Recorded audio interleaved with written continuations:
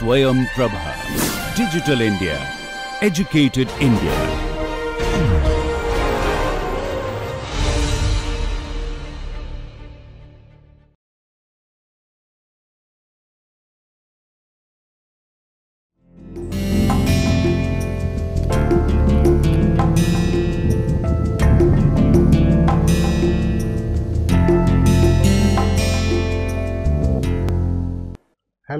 I am Saurabh Sharma, Assistant Professor in the School of Arts, Humanities and Social Sciences, Chanakya University, Bengaluru. We are doing Introduction to Chinese Studies. We shall uh, do some lectures on China's foreign policy, beginning with the 17th lecture on China in the Cold War. Now, uh, China's foreign policy has evolved over time. So when, when I mean China here, I mean the People's Republic of China, the, the China ruled by the Communist Party. Now, if we look at the evolution of his foreign policy, we can find that there are different stages of uh, this evolution. So, I have divided it into six stages for the purpose of uh, the lectures. Uh, the first stage is from 1949 to 1960, that is from the foundation of the People's Republic of China to the rift between Soviet Union and the People's Republic. So, this period has been named as leaning on one side. The next period is from 1960 to 1971. This is a period beginning with the Sino-Soviet split and most of the events during this period are influenced by this particular split. Then uh, from 1971 to 1989 we have the pe period of rapprochement beginning with the rapprochement with the United States and uh, gradually China taking the help of United States in order to counter the threat from the Soviet Union and eventually reaching a rapprochement with the Soviet Union towards the end of this period in 1989. Next we have 1989 to 2004 this is a period of high capabilities and bide time. Uh, next is 2004 to 2013 peaceful development or harmonious world and 2013 to 2023 that is great power projection. The last three I am going to discuss in the next lecture. So, in this particular lecture China in the Cold War we are going to just cover the period of the Cold War that is from 1949 to 1989. Let us begin. So, first uh, let me give you an overview of the foreign policy leadership of China at that time. So, the paramount leader of, of uh, China of course was Mao Zedong. So, Mao Zedong was the paramount leader. So, obviously he played the most important role in making of the foreign policy. He uh, in this period was the leader of the party that is the party chairman and also leader of the state that is the state chairman. Uh, the later position he relinquished to Liu Shaoqi in 1958. But uh, still Liu Shaoqi did not really play a major role in foreign policy. His focus was mostly on the economic sector. So, the main foreign policy leader, that the person who actually ran the day to day uh, foreign policy activities, meeting with world leaders, you know, participating in important conference was Zhou Enlai. Zhou Enlai was the premier of China since its founding and he also used to be the foreign minister till 1958. So, in 1958 he gave up his post of foreign minister to Chen Yi, okay, who remained uh, the foreign minister from 1958 to 1972. But he again did not play a important role uh, because of his criticisms of Mao's policy. Just like Liu Shaoqi, he also was persecuted during the Cultural Revolution and that, that began in 1966. And therefore, uh, the main two main leaders of China's foreign policy were Mao and Zhou. Now, important role was played by the military, People's Liberation Army. So, the leadership of the People's Liberation Army was also very important in deciding on foreign policy. So, let me name some of the prominent figures. Chu Te. Uh, Chu Te was a comrade of Mao who helped Mao to emerge as the leader in the Communist Party and also helped in the victory in the Civil War because he was the commander in chief of the People's Liberation Army from 1946 that is from the beginning of the Civil War. Once the Chinese constitution of 1954 came into being, the post of commander in chief was abolished and he served in various capacities in the, within the Chinese government leadership and he was also consulted in foreign policy. So, along with Mao Zedong and uh, Zhou Enlai, Chu Te also played an important role in foreign policy. Then another important personality is Feng Wai. Feng Wai was an important military leader along with uh, Lin Piao. Okay, all of these leaders dressed in this uniform, these are these are actually among the 10 marshals of the People's Republic of China. You can see even Chen Yi is one of the marshals. Okay, these are these, these people held the highest position in the Chinese military. So, Chu Te was the oldest among the 10 marshals. These, these pictures were taken in 1955, while Lin Piao was the youngest of them. Now, uh, Peng Dehuai played a very important role in the Korean War because he was the commander of the People's Volunteer Army that participated in the Korean War uh, that fought against the United Nations forces led by the United States. After the war, he, he was made the defense minister of China. So, he served in this capacity from 1954 to 1959. But uh, in 1959, he went on to criticize Mao Zedong in the Lushan conference because of the great leap forward. And therefore, Mao targeted him and he was removed from all his positions and later he was persecuted in the culture revolution. And, and, and, and so, so he played an important role for almost a decade of, of uh, uh, China's foreign policy, but after that he was sidelined. He was replaced as the defense minister by Lin Piao. He became the new favorite of Mao. Lin Piao played an important role because he went on to become the number two in 1969, the designated successor of Mao. Uh, but uh, he was removed from power in 1971 uh, when Mao began to distrust him and he decided to uh, remove Mao from power in a military coup which failed and then he had to escape with his family but his aeroplane crashed in Mongolia okay and he died. So, he played an important role till 1971. Okay, so this was the foreign policy leadership of China during the initial years. So, let us look at some of the events that took place. So, China began its, its journey in foreign policy with uh, these policies. Okay. Number one, leaning on one side. Now, this was a product of, uh, uh, of the policies of Sun Yat-sen. So, Sun Yat-sen was the leader of the Kuomintang and the uh, Republic of China. In 1923, he formed an alliance with the Soviet Union and the Communist Party of China. And uh, so, among the policies advocated by him was that China should ally with the Soviet Union because it was a more reliable ally than the Western countries. And this idea was developed by Mao in uh, what was known as three new principles of the people. So, Sun Yat-sen had given three principles of the people. Uh, these were nationalism, democracy and people's livelihood, which to which uh, Mao said, um, uh, Mao added three new. These were the three great policies or which uh, later he called uh, the three new principles of the people that is uh, alliance with the Soviet Union, alliance with the with the Communist Party and support to the peasants and the workers.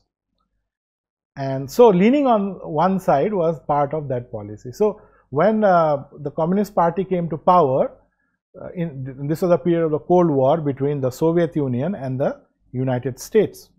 And uh, Mao declared that China could not remain neutral in this uh, conflict because the Soviet Union had held the Communist Party to come to power. So, it was necessary for them to lean on one side and Soviet Union in return would help China to develop economically, militarily and so on. And in the Korean War, of course, uh, this played an important, Soviet support played an important role. And before that, of course, in the Civil War, because without the help of the Soviet Union, the Communist Party would never have come to power. So, he leaned on the side of the Soviet Union and this policy continued for some time. Uh, Stalin died in 1953. After that, uh, in 1956, the new leader, Nikita Khrushchev, he criticized Stalin in a party conference and then this became known to the other communist leaders. And this created certain problems because uh, Stalinism was one of the important principles that many of the communist parties believed in.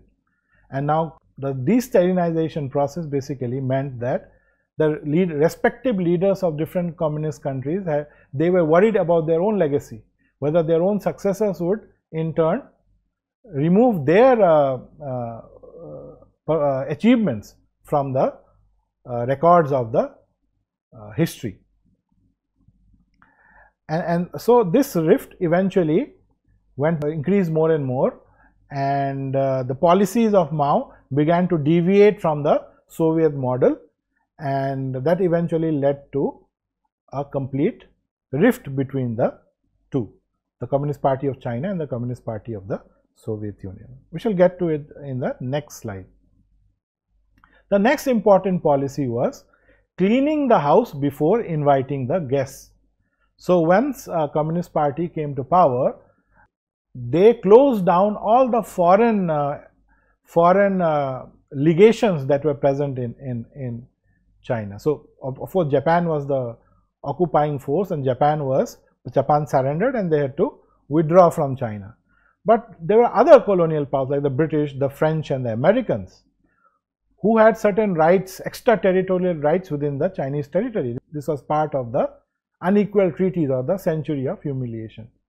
So, Communist Party or Mao was insistent that the western countries or the colonial powers had to withdraw completely from China before coming back to establish uh, diplomatic relations based on equal treaties. So, the unequal treaties had to go and the equal treaties had to come. So, the cleaning the house means removing the unequal treaties and the various colonial possessions of uh, the western powers and inviting the guests means once the house had been cleaned the colonial powers or the, western powers could return return based on equal rights of nations and establish diplomatic relations.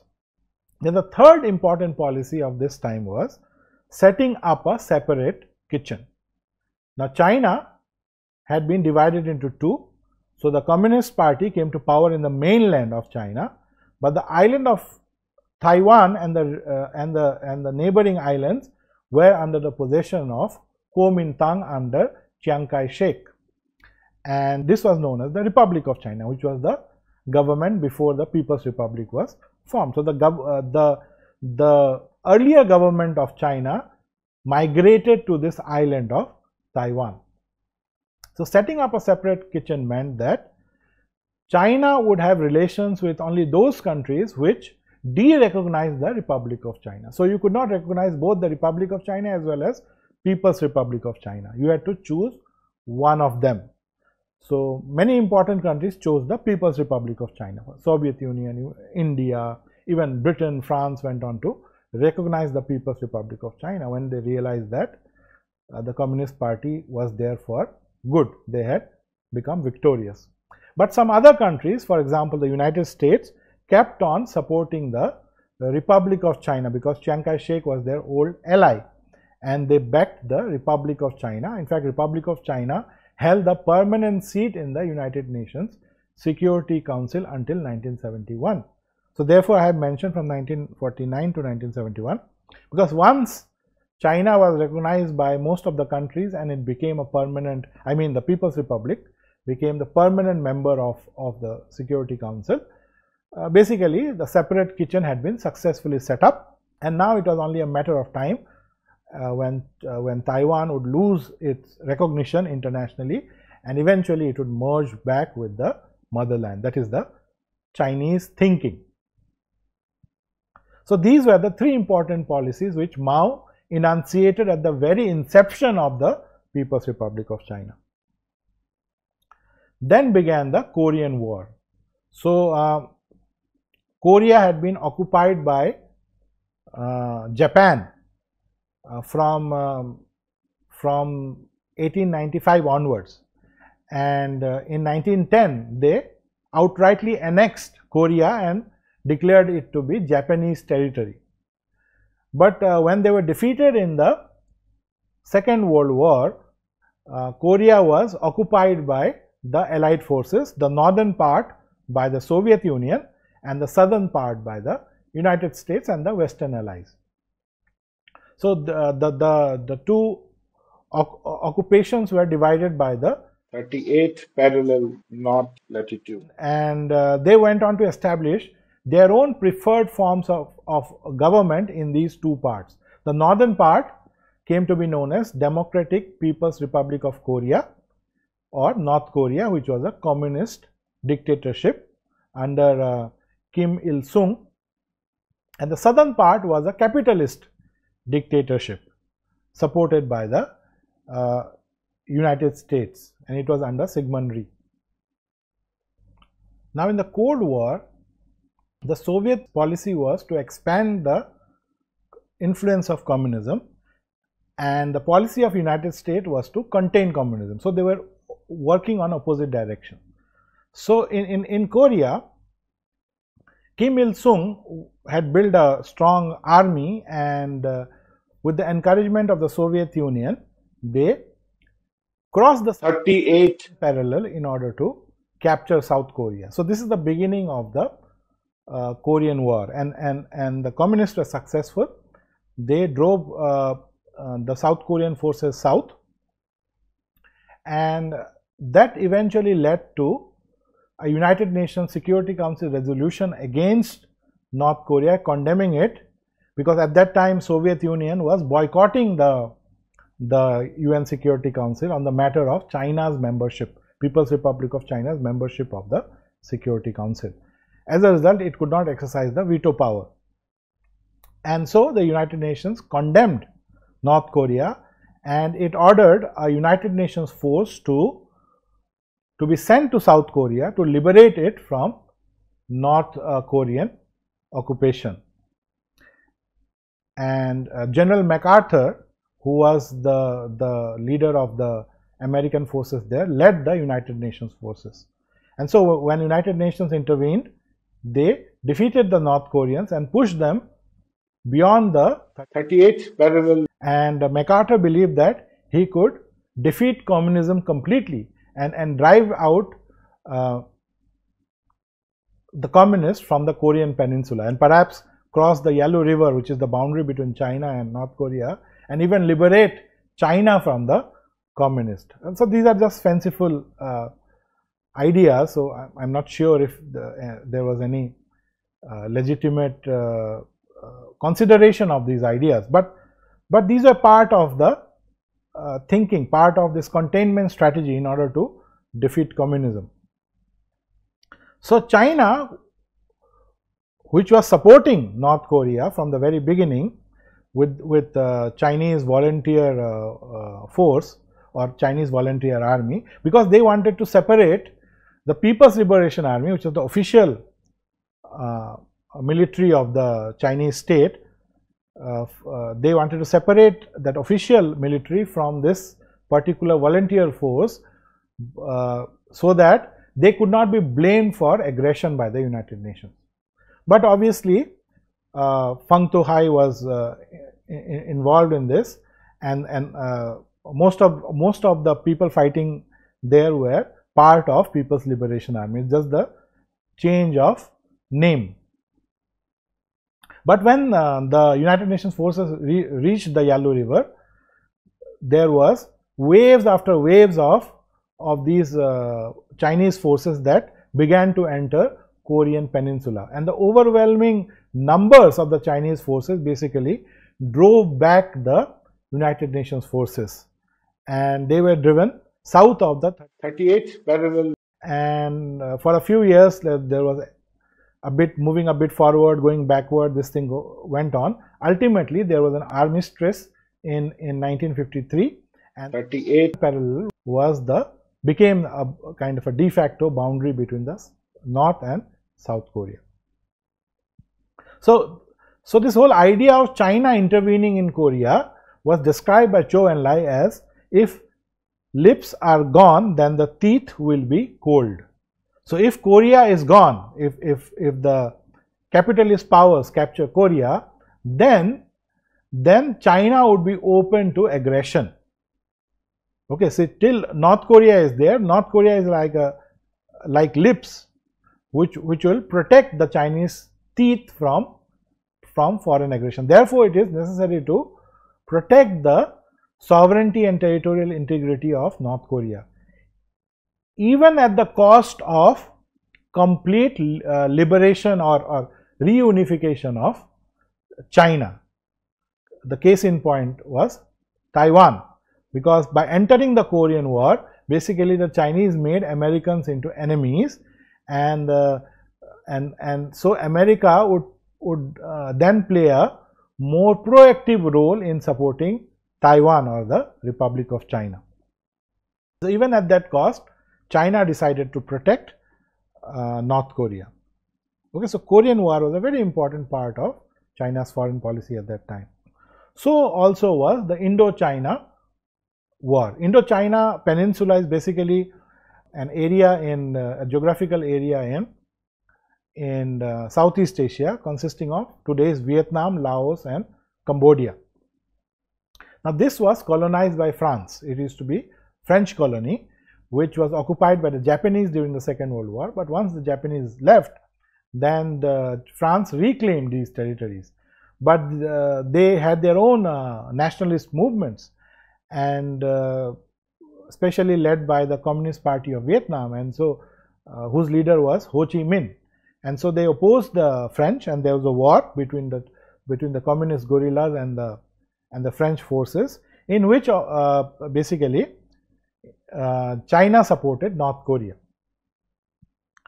and uh, in 1954 there was a treaty in which France gave up its claims over Indochina and uh, Korea uh, and Vietnam just like Korea was divided into North Vietnam and South Vietnam. North Vietnam was communist led by Ho Chi Minh and the Communist Party and South Vietnam was capitalist supported by America and other other powers.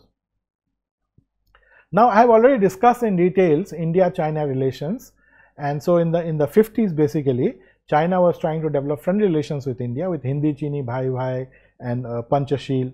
I have already discussed in details all this.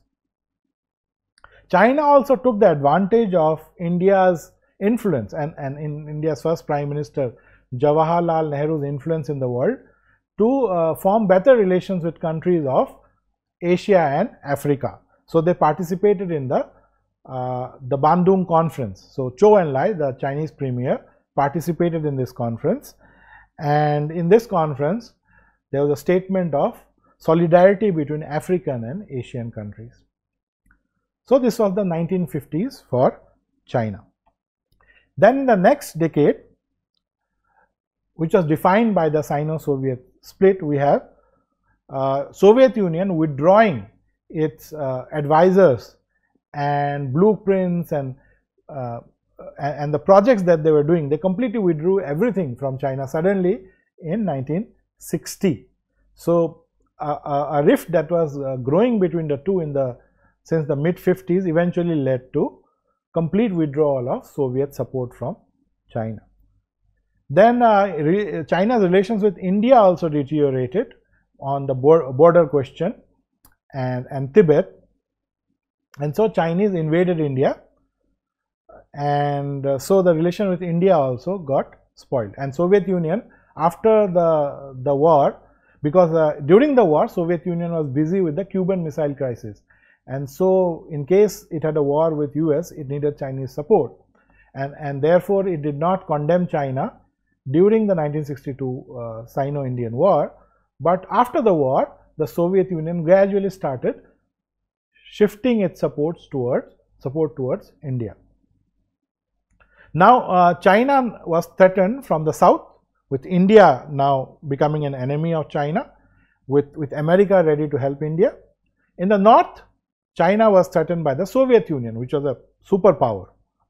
And so China decided to follow a policy of third worldism, basically improve its relations with the third world, continue the uh, Bandung spirit.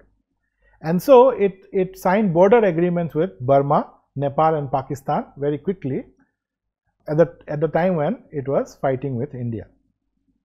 And to improve relations with, with Africa, the African countries, uh, Zhou Enlai from 1963 to 1964. traveled to 10 different African countries and supported them in various ways and improve China's relations with these countries. Okay, so there was a basically a competition between India and China for the leadership of the newly emerging third world countries.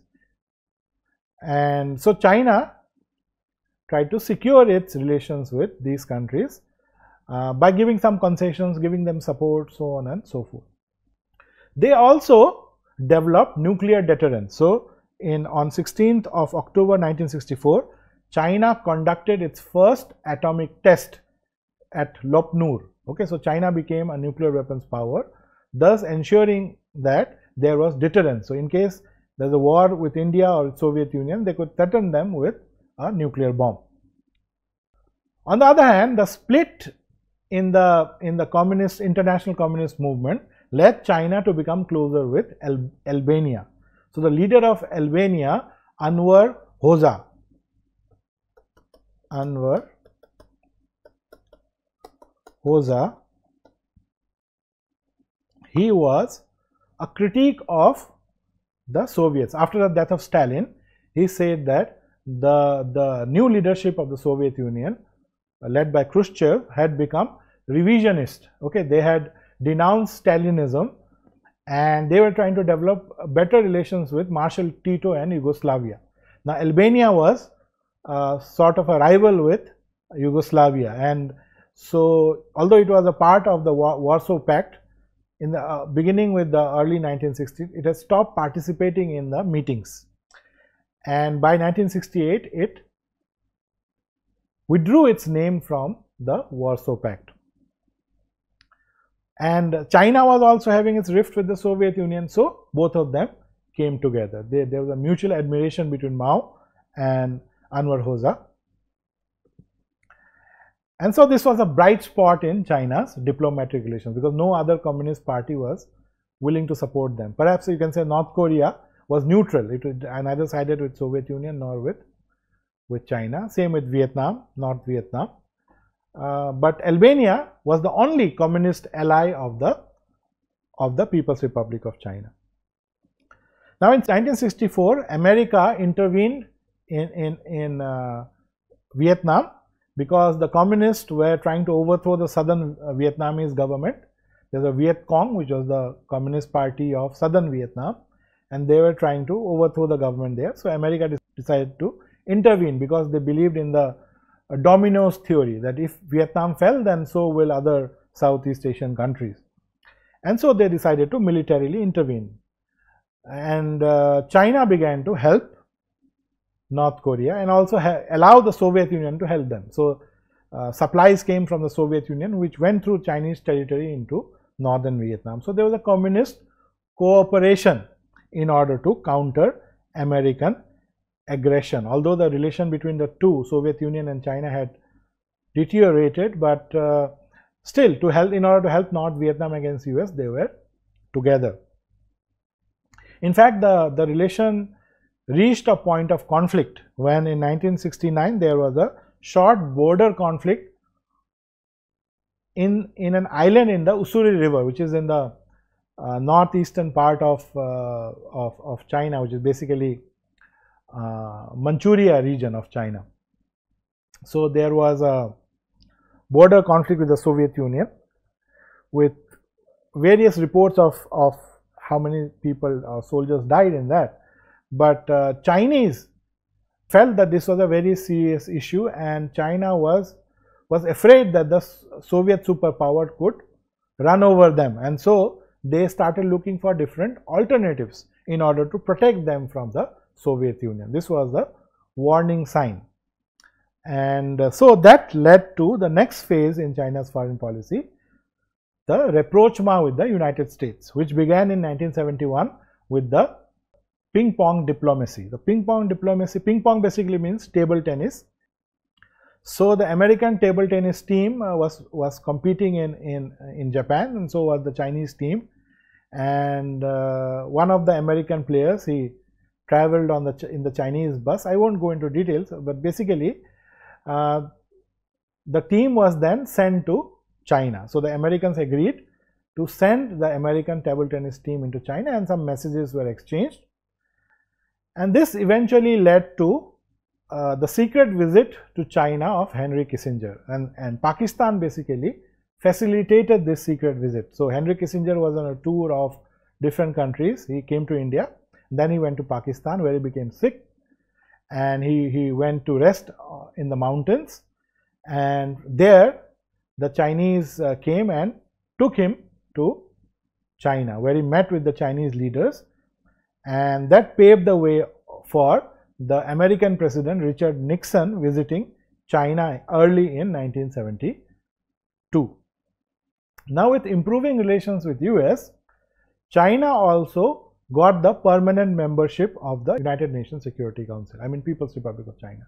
Republic of China led by Chiang Kai-shek was a permanent member and America was stopping People's Republic from get, getting that seat.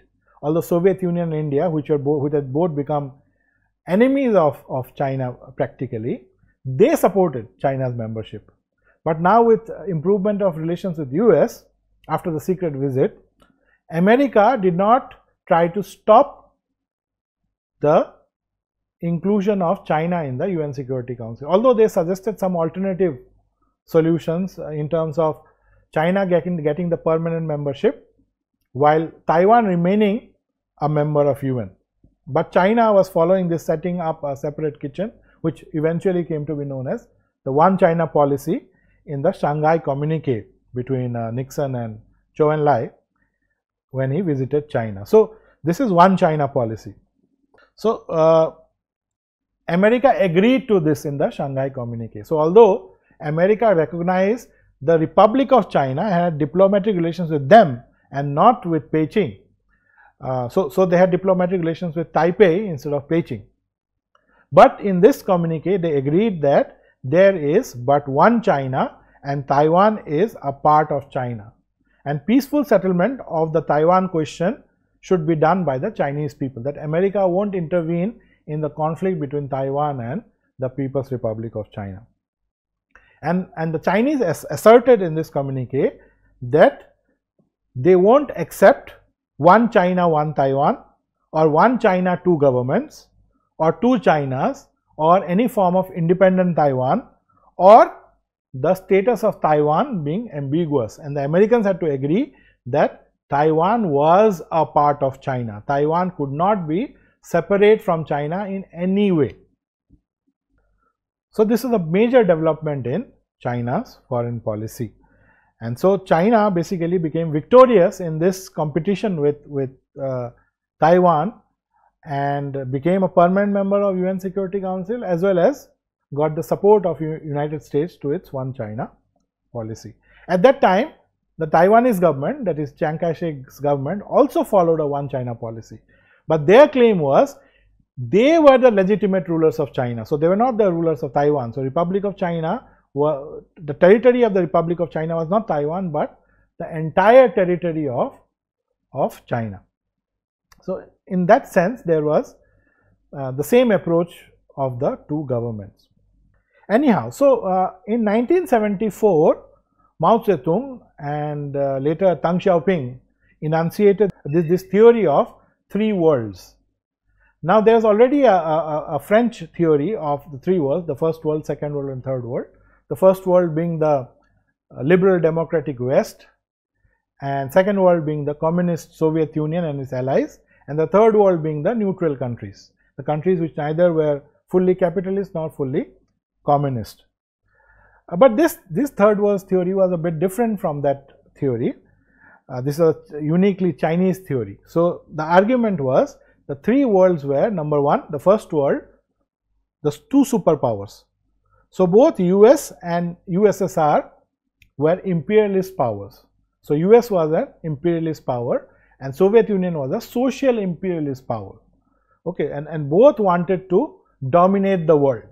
Okay, they did not believe in, in the freedoms of the people. So, both were a threat to the world and they basically had their allies in the second world. Second world were the remainder of the of the global north, which included uh, European countries. So the Western European belonging to the uh, to the American uh, camp, while the Eastern European countries belonging to the Soviet camp.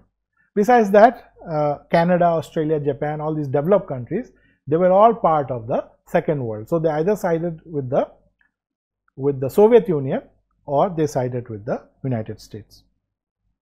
And then the rest of the world was the third world, which included Latin America, Africa, and uh, Asian countries, including China. And China wanted to present itself as the leader of the third world. It always tried to give a bad name to India, and they called uh, uh, the Indians basically B team of the Western uh, imperialist powers. And, and of course, after 1971, the B team of the Soviet Union. Okay, so only China had the had the intention to support the third world, and so they should be considered the leader of the third world. So this was the three worlds theory proposed by Mao. Uh, but this led to worsening of relations between Albania and China. So Albania in the 60s was the only ally of China.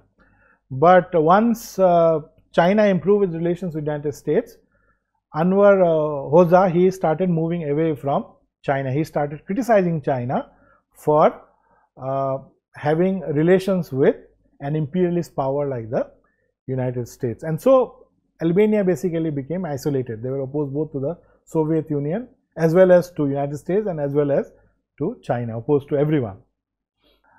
By 1976, the old leadership of the, the People's Republic had died so, the same year in 1976, Chu Te, uh, Zhou Enlai and Mao Zedong died. Uh, first Zhou Enlai, then Chu Te and then Mao Zedong. They all three great leaders of, of, of communist China died in the same year. And with this came the transformation of leadership. So, we have a new leadership that emerged, the second generation leadership.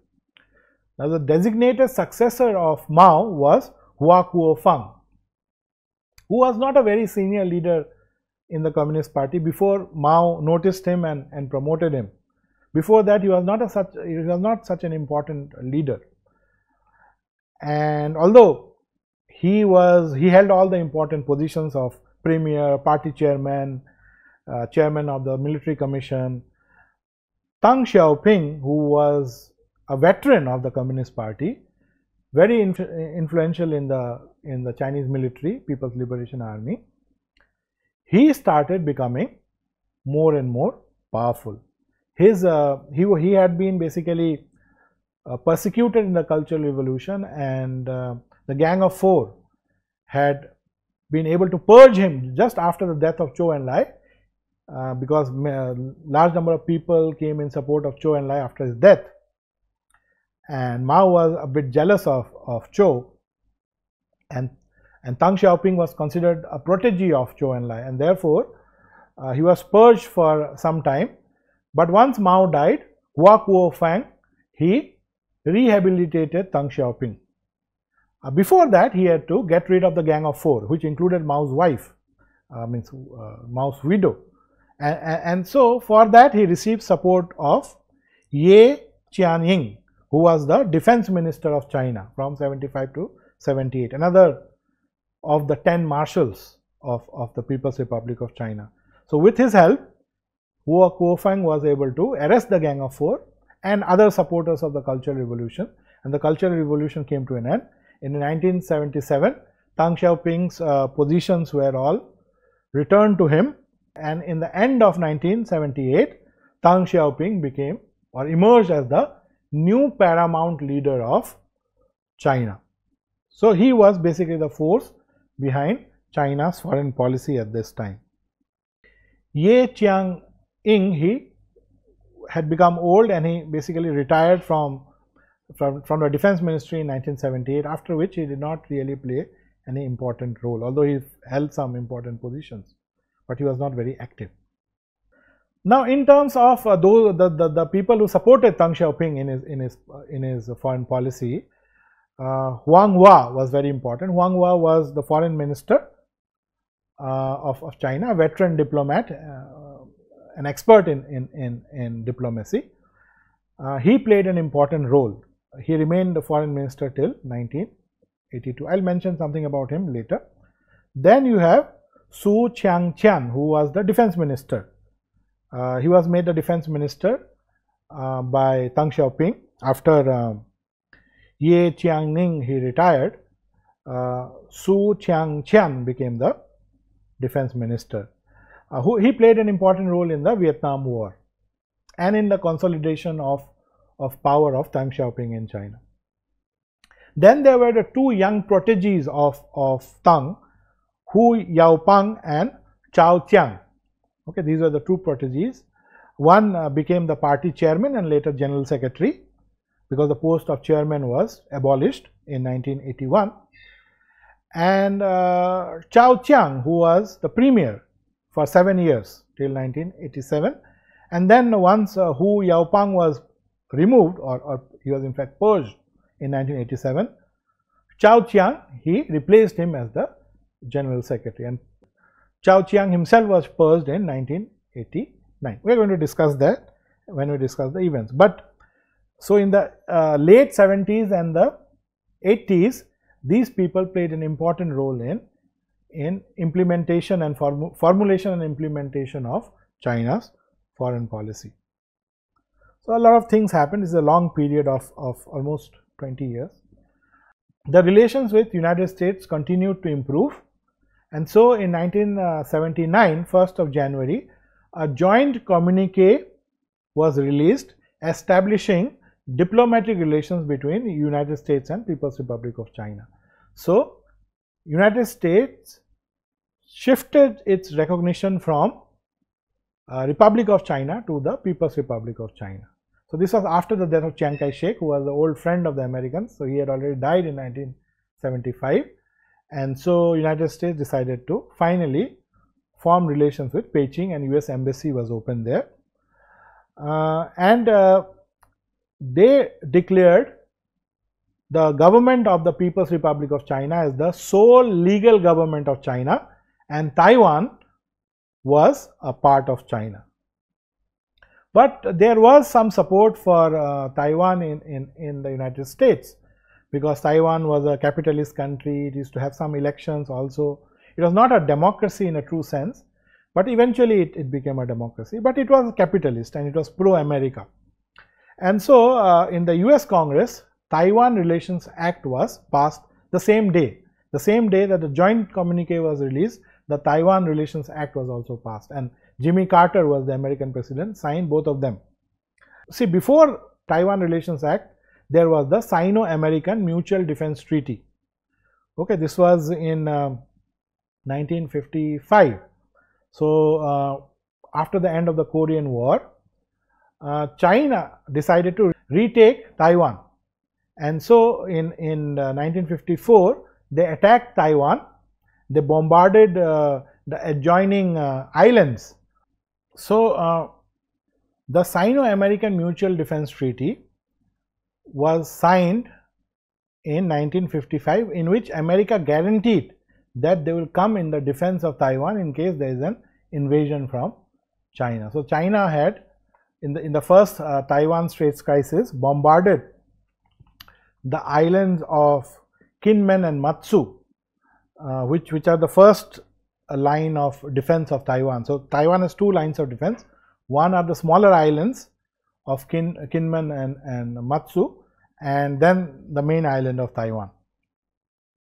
So, uh, the treaty said that US would come to the defense of Taiwan only if the main island and the islands further to the to the west attack, not in case of uh, Kinmen and Matsu. By that, the US was able to avoid uh, avoid uh, intervening in the first Taiwan Straits crisis, but it basically was a warning to China and, and, and, and China had to stop its bombardment of the islands. Then in, in 1958 there was another uh, bombardment by, uh, by China of the same islands. They were basically testing if US would come to the aid of Taiwan. But this also eventually passed off uh, because India, their relations with India were getting uh, worse and so uh, they eventually uh, launched an invasion of India. Now, the Mutual Defense Treaty came to an end in 1980. So, this was replaced or, or just before it, it expired, the Taiwan Relations Act was passed. Now, this was an assurance to Taiwan that America won't let Taiwan be invaded, but there was no guarantee in this particular act. This was passed by both houses of the Congress and signed by the US President, but it was short of a guarantee. It basically meant that US would continue supporting Taiwan. Now, uh, the relations between China and Vietnam had also worsened. So, now China had problems with Soviet Union, with India and also with Vietnam because Vietnam had uh, a few years before this invaded Cambodia which was uh, ruled by the Khmer Rouge who were uh, Maoist supported by China. So, the Vietnamese Communist Party attacked Cambodia, removed the Khmer Rouge from power and uh, established the rule of a pro-Vietnam communist faction and basically this whole Indochina, Cam Cambodia, Laos and Vietnam came under the control of Vietnam and they became allies of the Soviet Union. Okay, so, so China uh, did not like that and uh, perhaps to teach uh, Vietnam a lesson just like they taught a lesson to India or uh, uh, because Deng Xiaoping was just uh, emerging as the leader and he wanted to assert his, his control over, over the military and, and, and try to sideline Hua Kuo-feng. Whatever the reason it was, they invaded Vietnam in 1979. But China, from all the accounts that we have, received a bloody nose. It was a, it was a very brutal war between the two and uh, about uh, 60,000 or even more soldiers died in this particular war and almost equal numbers which was uh, a bad thing for China because the Vietnamese uh, were used to losing large numbers in order to defeat uh, bigger powers. So, they basically compensated larger number of casualties for the sake of victory and uh, China had to withdraw from Vietnamese territory. So, we can say that they were not able to achieve anything.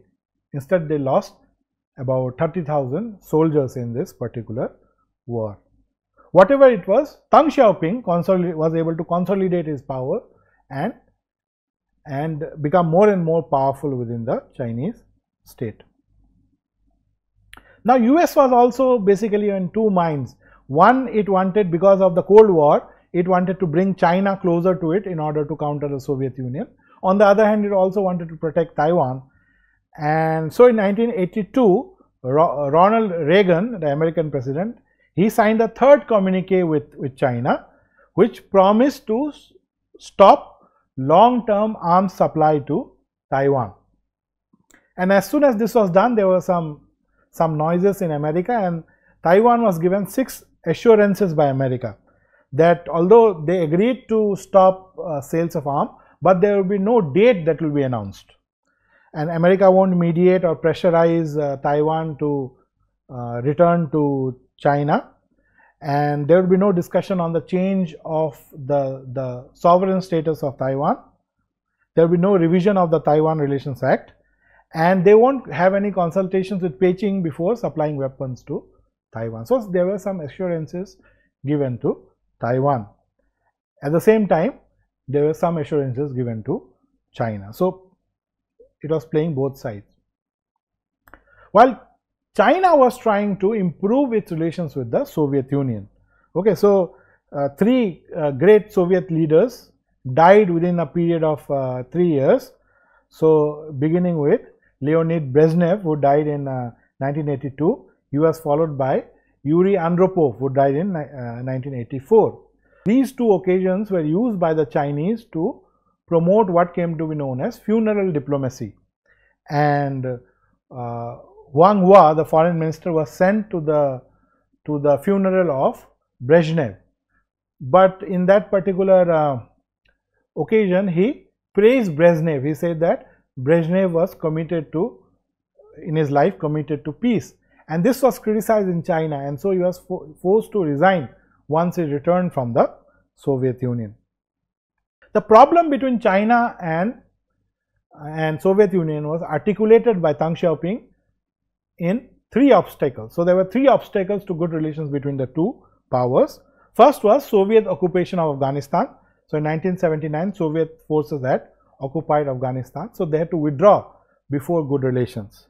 Number two, Soviet Union after 1969 had had uh, you know stationed its forces on the Sino-Chinese borders. Even in Mongolia, there were Soviet divisions which were a threat to China from the north. And so, before good relations, these forces had to be withdrawn by the Soviets.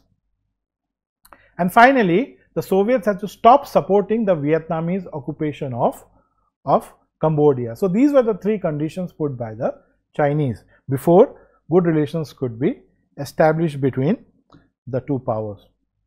Now, another important uh, dimension of China's foreign policy was getting back Hong Kong and and Macau. Now, Macau was under the Portuguese occupation and Portuguese were willing to once once there was a revolution in uh, Portugal in 1974 and the fascist government uh, had been overthrown and uh, you know they tried to after 74 they even recognized the liberation of Goa and all that. So, the Portuguese were no longer willing to maintain their colonies and so they wanted to hand it over Macau to China, but China stopped uh, that process because they wanted to settle Hong Kong first and once certain principles had been established in the case of Hong Kong, Macau could follow.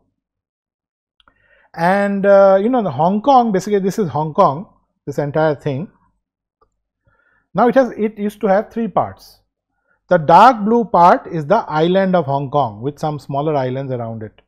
Now this was annexed by the British in 1842 after the first opium war. So this was basically British territory, British colony, full-fledged.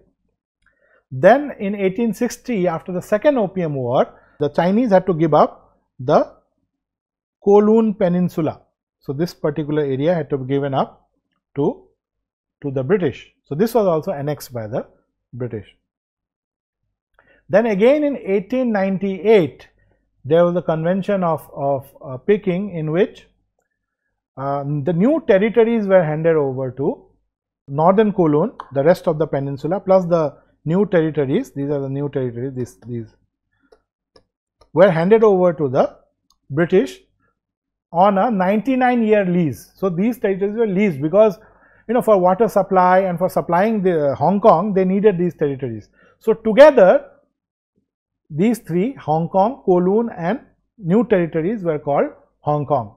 So once the lease expired in 1997, the new territories had anyway to be handed over to the Chinese.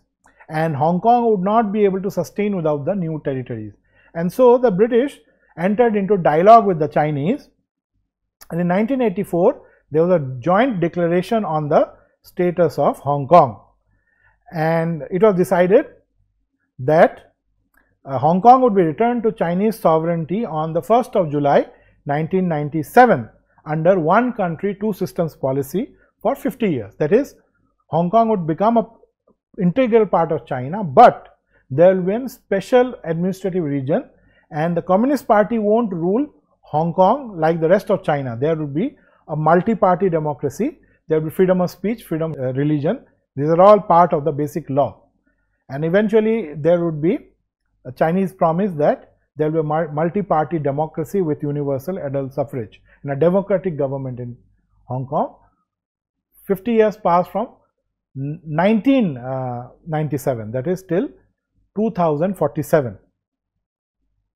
And soon after this, in 1987, there was a joint declaration on Macau, and Macau would be handed over by Portugal to China on 20th of December 1999. This was decided. Now, uh, China wanted it a bit earlier. They said they could do it together with Hong Kong, while Portugal wanted to postpone it a bit late to celebrate certain uh, uh, colonial achievements that they had. But uh, China said they won't accept a date after 2000. So, this particular date was decided. And in these maps, you can see the location of Hong Kong. This is Hong Kong here and this is Macau. So, Hong Kong is a bit to the north and Macau is a bit to the south. This is the uh, Kwangtung province of, of China. So, they are adjacent to the Kwangtung province. These are two special administrative regions of China which follow one country, two systems policy. Okay, so I'll uh, stop here. Uh, so in the next lecture, we'll go into uh, China's foreign policy after 1989. Um, so in this we have covered from the beginning of the formation of of the People's Republic of China when it, it was on the side of the Soviet Union and gradually how there was a rift between the two. And then uh, next period when it improved its relations with the United States and it became uh, practically an ally against the Soviet Union during the rest of the Cold War and how uh, the problems of Taiwan and Hong Kong and Macau were dealt uh, with by uh, China and uh, United States in case of Taiwan and China and Britain in case of Hong Kong and China and Portugal in the case of case of Macau and its improved relations with the United States actually helped China to reach agreement with these other countries because China was trusted um, trusted by the western countries in the 1980s. So thank you. We'll, we'll discuss the rest of the things in the next class.